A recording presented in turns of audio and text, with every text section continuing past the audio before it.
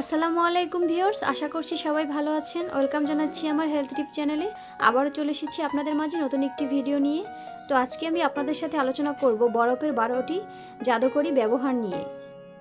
বরফ সাধারণত ঘরে ঘরে ব্যবহার করা হয় পানি বা বিভিন্ন পানীয় ঠান্ডা করতে।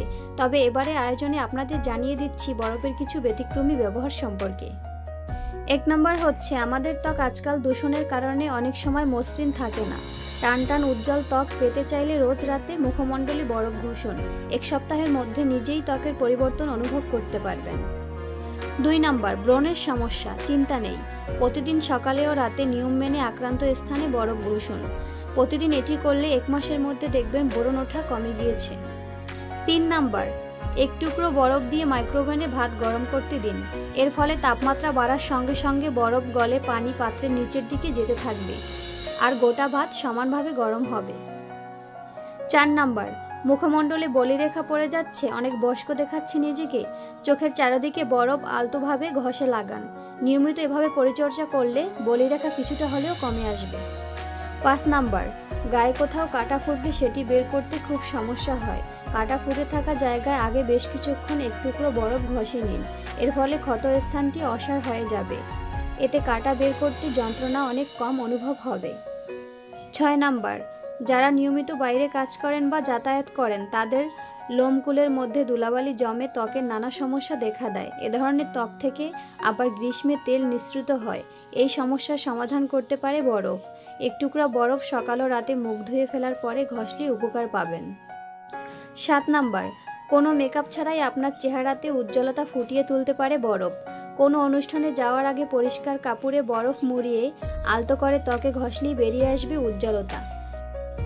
আট নাম্বার, রাতে ঘুম কম হওয়াতে চোখ ফুলে গেছে, চোখের ফোলাভাব কমাতে চোখের চারপাশে বরফ আলতোভাবে বুলিয়ে নিন। এতে করে চোখের ফোলাভাব কিছুটা হলেও কমে আসবে। তবে এক্ষেত্রে বরফ পাতলা কাপড়ে পেঁচিয়ে ব্যবহার করা ভালো। নয় নাম্বার মেদ ভুঁড়ির সমস্যায় ভুগছেন। দৈনিক রাতে খাবার খাওয়ার পরে পেটের উপরে আইস প্যাক ধরে রাখুন দেড় ঘণ্টা পর্যন্ত। প্রতি পনেরো মিনিট অন্তর পাঁচ মিনিট করে বিরতি দিবেন। দু থেকে তিন মাসেই দেখবেন মেদভুঁড়ি কমে আসছে। দশ নাম্বার জামা কাপড় ইস্ত্রি করার আগে কাপড়ের কুচকে যাওয়া অংশের উপর বরফ ঘষে নিন। দেখবেন অনেক সহজেই ইস্ত্রি করা যাচ্ছে।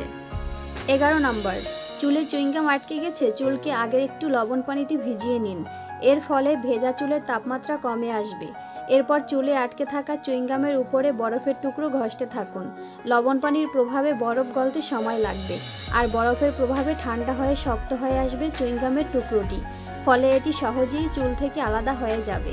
ফলে আর চুল কেটে চুইংগাম আলাদা করতে হবে না। বারো নাম্বার হচ্ছে জামায় হঠাৎ খাবার পরে বিশ্রী দাগ হয়ে গেলে চিন্তা করার কিছু নেই। সামান্য পানি দিয়ে জামার দাগ লাগা অংশটা প্রথমে মুছে নিন।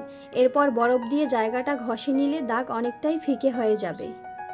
তো ভিওর্স আশা করছি আপনাদেরকে বোঝাতে পেরেছি বরফের জাদুকরি চমৎকার ব্যবহার সম্পর্কে। আপনারাও এ সকল কাজে এরকমভাবে বরফ ব্যবহার করতে পারেন। আশা করছি উপকৃত হবেন। তো ভিওর্স আজ এ পর্যন্তই। আজ এখানেই শেষ করছি। আশা করছি আজকের ভিডিওটি থেকে আপনাদেরকে একটু হলেও উপকৃত করতে পেরেছি। তো ভিডিওটি যদি ভালো লেগে থাকে, তাহলে অবশ্যই ভিডিওটিতে একটি লাইক করবেন এবং আমার চ্যানেলটি সাবস্ক্রাইব করে পাশে থাকা বেলাইকনে ক্লিক করে রাখবেন, যাতে করে আমার পরবর্তী ভিডিওর নোটিফিকেশন সবার আগে আপনার কাছে পৌঁছে যায়। তো সবাই ভালো থাকবেন, সুস্থ থাকবেন। আল্লাহ হাফিজ।